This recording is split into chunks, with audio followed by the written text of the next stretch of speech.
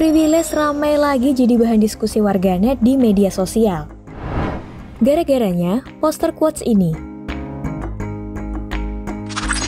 Akibatnya, Putri Tanjung jadi bahan bulan-bulanan warganet yang menganggap kutipan itu enggak bisa diterapkan pada semua kalangan, terlebih karena dirinya punya privilege sebagai anak konglomerat.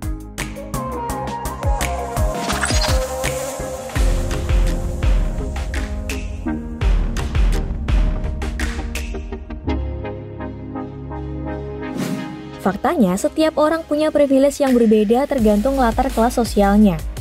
Mereka yang terlahir dari kelas sosial tinggi cenderung lebih mudah sukses ketimbang orang-orang yang berasal dari kelompok kelas sosial bawah. Ini karena mereka punya privilege lebih banyak ke berbagai kesempatan seperti akses ke pendidikan dan pelayanan kesehatan. Studi mendapati anak yang lahir dari keluarga miskin cenderung tetap berpenghasilan rendah ketika mereka tumbuh dewasa.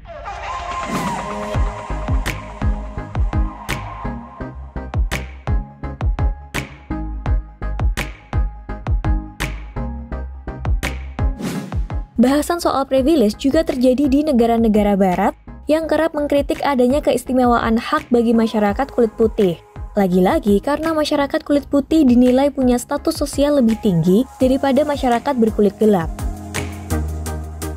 Hal ini lantas dianggap sebagai praktik untuk memberdayakan kelompok tertentu berdasarkan ras dan status sosial untuk jadi lebih menonjol ketimbang yang lain.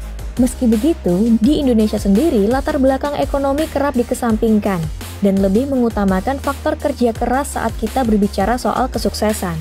Anggapan ini pun dinilai membahayakan karena bisa melanggengkan ketimpangan yang ada.